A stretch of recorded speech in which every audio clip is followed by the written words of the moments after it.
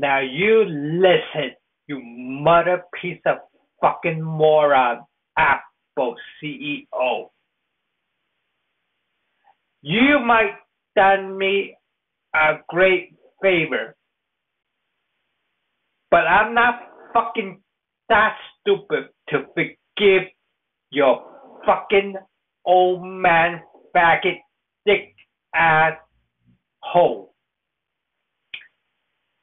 So, Apple, how would you like the iPad go in hot water or cold ice water?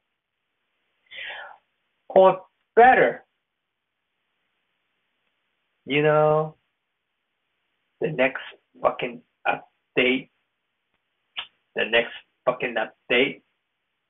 I'm sorry, Mrs. Mrs.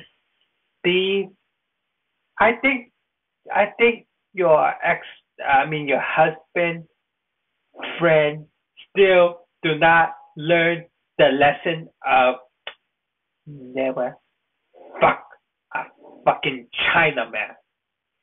And, you know, I hope you fucking really die.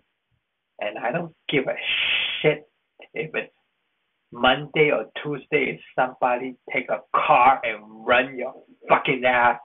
All all your fucking carcass out on the street like a fucking street pizza with your blood all over all over pacing up and down and people could take a piss on it.